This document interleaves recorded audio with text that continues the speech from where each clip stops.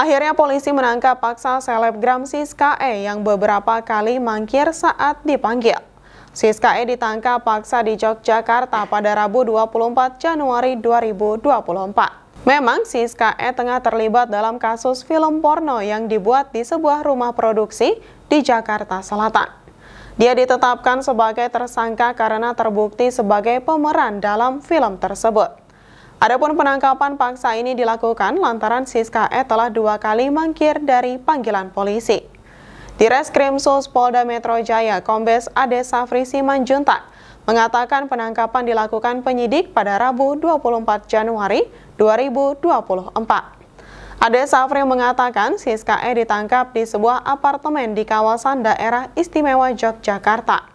Dalam kasus ini ada 10 selebgram lainnya selain Siska E yang merupakan pemeran dan ditetapkan sebagai tersangka dalam film porno yang diproduksi rumah produksi di Jakarta Selatan.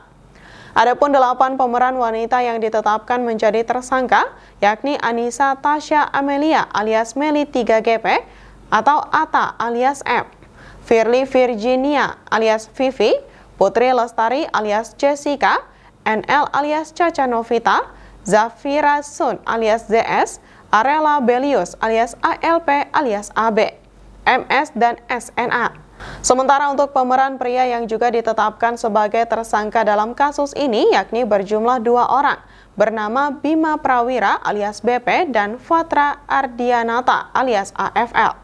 Kesebelas tersangka itu dijerat pasal 8 Jo, pasal 34 Undang-Undang nomor 44 tahun 2008 tentang pornografi dipidana dengan pidana penjara paling lama 10 tahun dan atau pidana denda paling banyak 5 miliar rupiah.